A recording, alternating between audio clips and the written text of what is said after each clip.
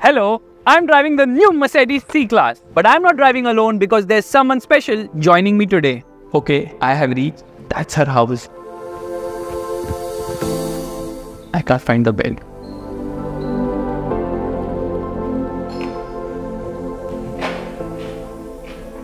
Hi, I'm good. Yeah, yeah. Meet Krupa Zubin. She is the founding partner of the award-winning firm ZZ Architects located in Mumbai. She is one of the leading female architects in the country and also among the industry's most sought-after design professionals. Now let's find out where we are heading next.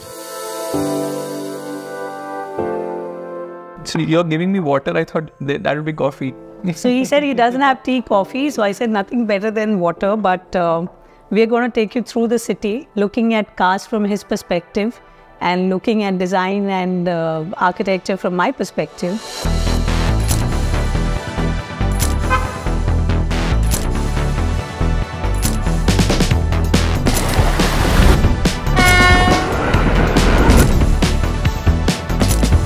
So off camera, Okay. what do you think of the car? I think it's an aspirational thing, right? To have a car which is which is something like a Mercedes. It's something that probably the earlier generation always resonated with. and what do you think about the design of the dashboard and all? Yeah, glossy. I've always personally gone in for lighter colors, natural finishes, wood. You tell me, you're the one driving. So, you know, see, my my aspect of looking at a car is uh, more design and uh, you know, like the kind of form on the dashboard and the the screen and a, lot of these smaller nuances on that front, and also comfort. So what do you think of the screen? Yeah, it's, I mean, I think tech has become such an integral part of all these cars these days, right? So this is something called as MBUX. Mercedes-Benz user experience. So it's just so easy to navigate here. This huge 11.9 inch portrait screen, vertical screen, very nice in terms of graphics and all. You can just browse through stuff very quickly. Dual zone climate control, air conditioning, and then you can actually save your own settings in terms of where the seat position is, in terms of how you want the climate and all.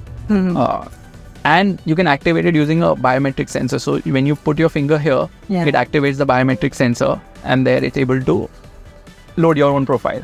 So, what else do you use your biometric for here? You can save a lot of things, like your seat position, your choice of how you want the music system to play, the air conditioning.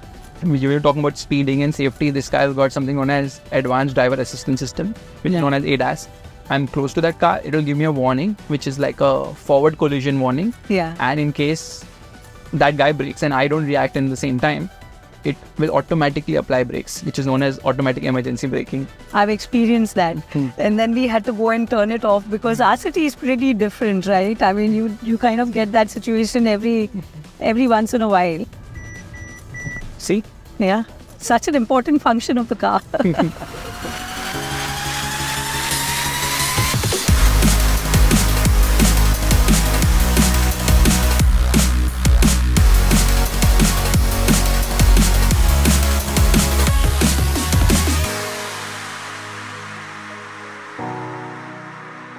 I've got you to my favorite part of the city. yeah. Next, I'll take you to mine. But I mean, it's amazing, right? I mean, when you see the entire Queen's necklace and the length of how much exposure to water we have. And the that's the reason we cannot have outer ring road because Yeah. we have water on one side, the sea. So now this coastal road is coming, which is obviously going to be epic. It's a massive engineering exercise. Yeah. What do you think about the design aspect of such a road? More I mean, it's going to be the heart of connecting the city in many ways. But I think apart from that, as somebody who is going to be using the space, I, I really look forward to all that's going to happen around the coastal road, which is as important as the road itself.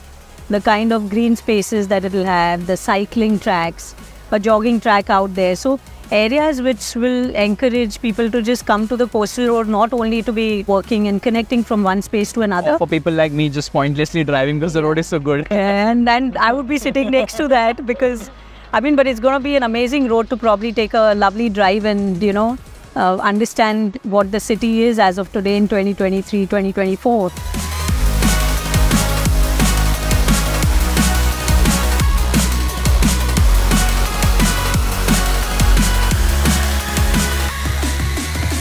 You love to drive. I mean, I've seen some of your things, and So what happens is that this is the reason for Nariman Point is at night the roads are empty. Like Yeah. the freeway is very empty. Yeah. So it's a good time to come. Obviously while coming I get a lot of traffic. Have dinner, and then drive back. So that drive at night is really nice. The speed? How high do you go on? Not more than 60 or 80. Somebody is being safe. so this is a 3D map. Yeah. And Bombay never looked cleaner than this. no, no, the ro- routes in Bombay are looking much more simpler. For once, I think I can drive. These are amazing. I mean, you see the realistic city ahead of you, and and I think their indications are pretty different from what we see out here. What What's the name of the street? Which street? This street. How would I know? I'm not a cabbie. give, give me your license back.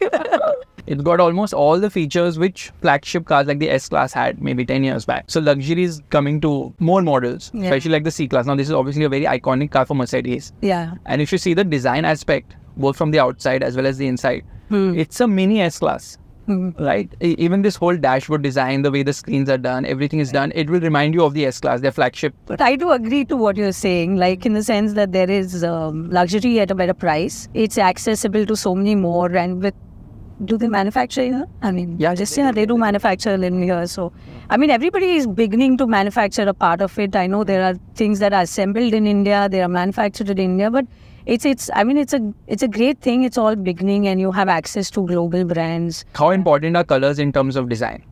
No, I think it's very important. I know there is like an ambient lighting, but there's also something called the vitality mode. I'm You know, scared you know more about cars than me. and I don't know more about design than you.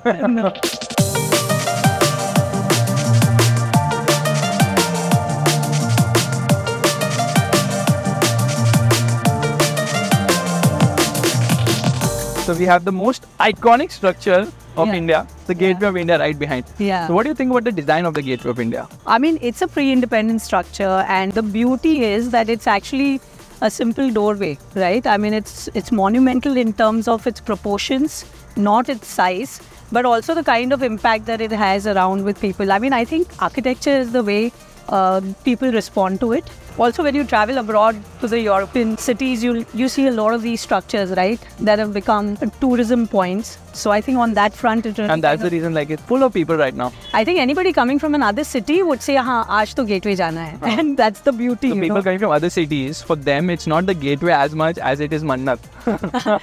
that's another thing. I was going to say it's Worli Sealink, it's gateway, and then maybe you know the Bollywood home that you would go to in Bandra, right? I mean, these are three like tick off to do lists.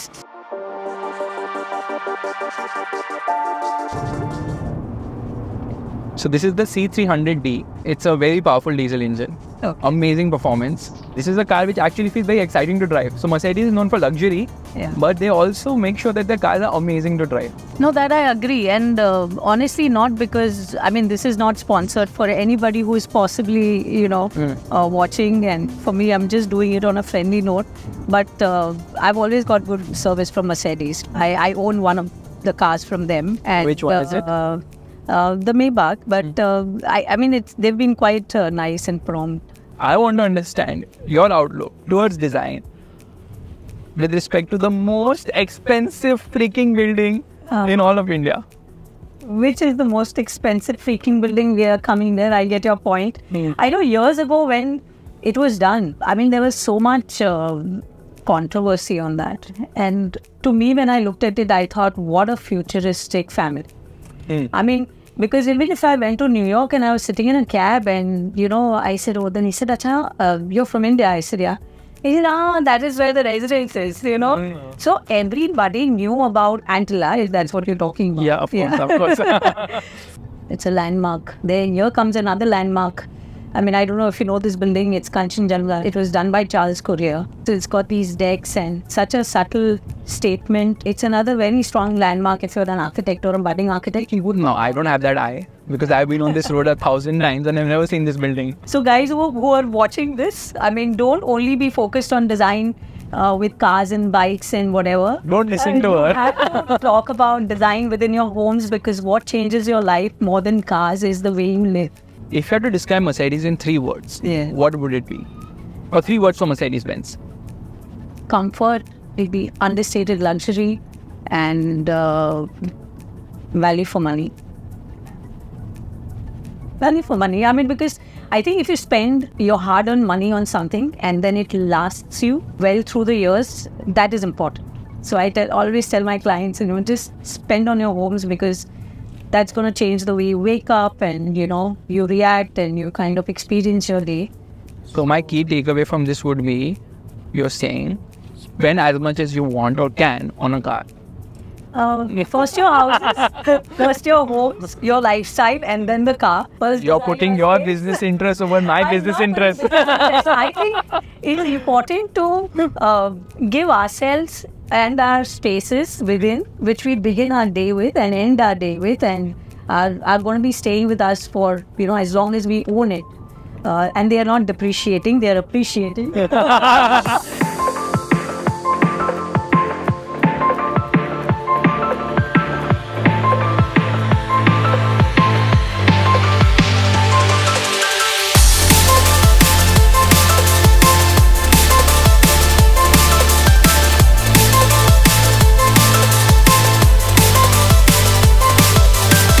Bandra early Please late. think, yes, yes, that's the second. Look at that. Yes, see, see, it's a Sunday.